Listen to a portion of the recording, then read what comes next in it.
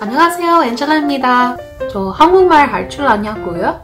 사실 잘 못해요 하지만 다른 언어 배우는 거 힘든 거 알아요 So today we're going to talk about three ways to improve your English skill Are you ready? Let's get started! Number one is very important. Don't be shy. Now, I've tried to learn several foreign languages in my life, and one of the biggest things that gets in my way is shyness.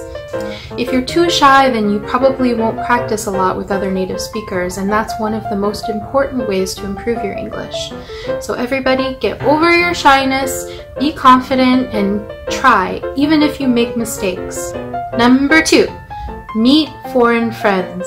Meet other native speakers, okay? And I'm not just talking about your girlfriend or your boyfriend, your husband or your wife. You need to meet a variety of native speakers with different accents to really improve your skill. Number three, practice your writing skills by keeping some kind of diary or journal.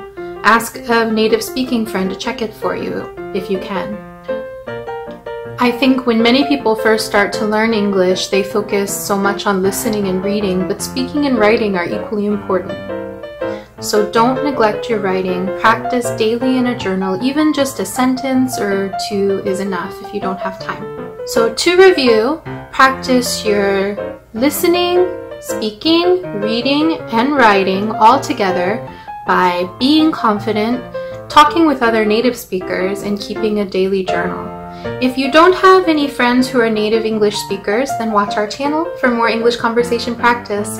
Thank you guys! Please don't forget to like and subscribe for more English conversation videos. See you next time! Thank you!